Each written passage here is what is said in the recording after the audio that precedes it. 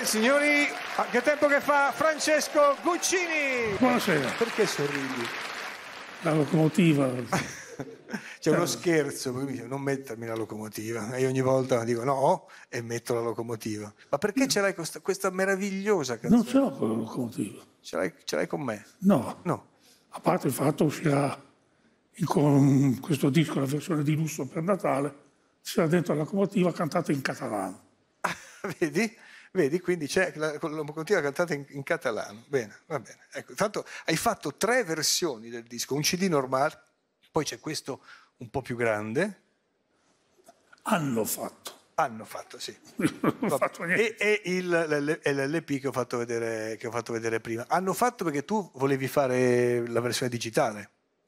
Volevo fare? No, dico, tu hai detto hanno fatto, hai preso le distanze, come dire, perché tu volevi fare la versione digitale. In che senso? No, non lo so. Allora, cosa, cosa vuol dire hanno fatto? Hai detto hanno fatto. La casa discografica ha fatto. Perché tu come lo volevi fare? Io non volevo fare niente, io lo solo cantare. Tu, tu dovevi solo cantare e basta. Io non mi intendo.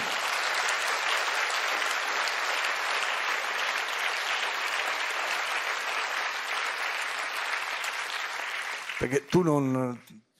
Dunque adesso, come si chiama? Digitale, quell'altro sistema qual è?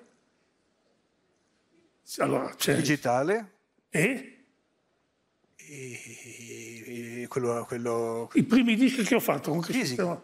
quello fisico, i dischi, il vinile, quei dischi. No. i CD. Lo so. No, cosa, cosa aiuto? C'è il sistema di registrazione per... eh, non viene la parola. Non lo so, non so cosa... Su nastro, su... su- su- su- Bravo, una volta siamo noi. Analogico. Ah, Ah, analogico. analogico. Sì. Digitale e analogico. Adesso si registra per digitale. Registri per digitale. Eh. Tu non hai Shaz- non Sh- nella vita, ti dico una cosa, non ti offendere.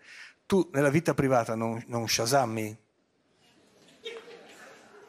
Cioè, quando ascolti una canzone che non sai cos'è, usi Shazam o no? O, o chiedi a qualcuno? Più che altro, Più che altro, più che altro. Basta, abbandoniamo.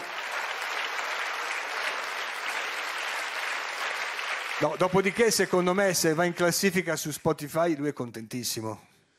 ma non mi dispiace ovviamente. Eh, ti, Però- ti hanno detto di Spotify, sì. Di che cosa? Spotify, la classifica di Spotify degli ascolti online, quelli più 45? Spotify, non Fortify, Spotify. Va bene, cambiamo discorso. Andiamo in osteria. Allora, queste canzoni che tu hai radunato in questo disco nascono dalle tue eh, frequentazioni e serate in osteria. Sì, sono sempre stato un cacciatore di canzoni.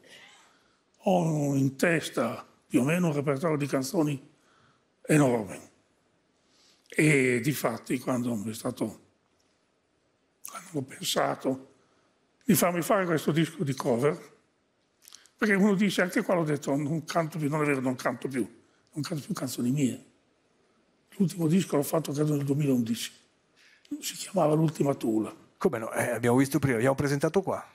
Sì, bravo. E lì ho detto basta, finito. Poi ho mandato questo disco di cover. E un po' neghitoso. Ho sparato una serie di titoli impossibili.